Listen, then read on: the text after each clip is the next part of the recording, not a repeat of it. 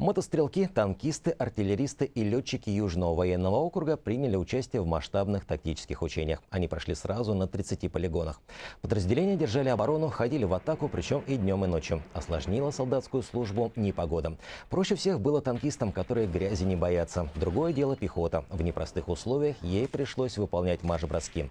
Авиация активно поддерживала наземные войска. Каждый день в небо поднимали больше 20 самолетов и вертолетов, а части мобильных групп устроили засаду на беспилотнике.